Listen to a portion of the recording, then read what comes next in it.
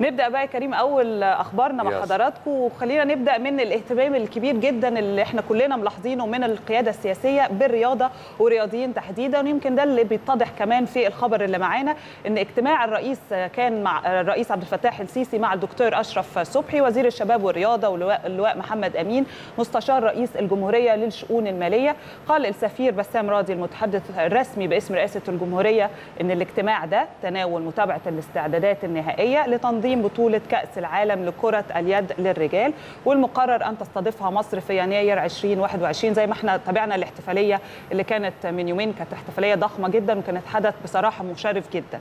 الرئيس وجه هنا بتوفير جميع الإمكانيات الامكانات لنجاح البطولة وكمان تكون بمثابة احتفالية رياضية عالمية على أرض مصرية.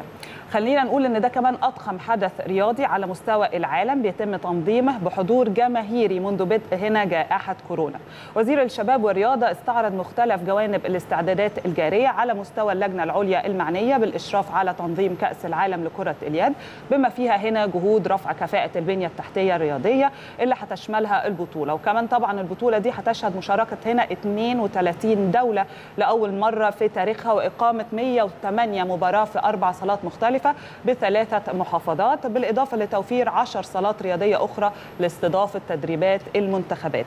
بصراحة يعني أنا بشوف إن ده حدث مش هيبقى رياضي عادي ده حدث رياضي عالمي. إحنا بنتكلم كل يوم يمكن عن السياحة الرياضية وأهميتها بالنسبة لأي دولة وإزاي بتنشط السياحة داخليا وخارجيا فأعتقد دي خطوة مهمة جدا. وكمان إحنا بنتكلم إن هي مش بس خطوة آه، كويسة للسياحة لا إحنا بنتكلم إن آه، فعاليات أو مهرجانات زي دي هي كمان لها تأثير بشكل آه، مباشر أو غير مباشر على الاقتصاد.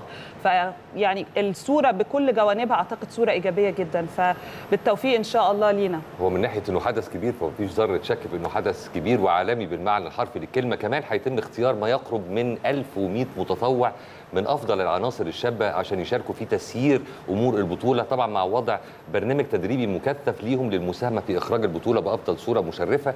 كمان شهد هذا الاجتماع عرض الخطوات الإنشائية والتمويلية لصندوق الرياضة المصري واللي يعد أول صندوق استثماري لدعم الرياضة في مصر حيث وجه الرئيس بحوكمة أداء الصندوق بهدف استدامة عوائده الماليه لصالح دعم الأبطال الأولمبيين وكمان اكتشاف ورعاية الموهوبين رياضيا وإقامة البرامج القومية للياقة البدنية والصحه العامة. الحقيقة اهتمام السيد الرئيس بالرياضة في دايما يعني في أولويات القرارات والاجتماعات وده اللي لمسناه وبنأكد عليه في كل فقرة من فقراتنا وفي كل يوم من أيام هذا البرنامج. نروح بقى للملف كمان